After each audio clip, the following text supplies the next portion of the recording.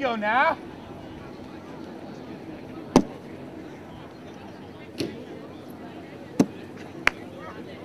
I think the Hawks are going to pull it off today. I think it's going to be a tough game, but we'll be victorious. I think that we should win because uh, we got the number one running back in the nation. What's he gonna do today? He's gonna run all the way. Very good.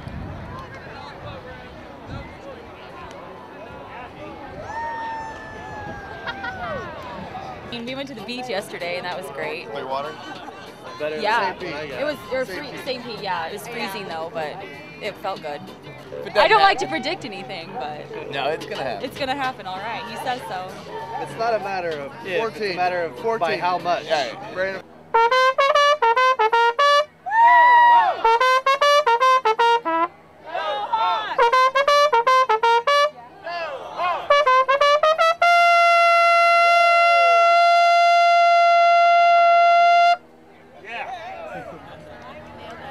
go!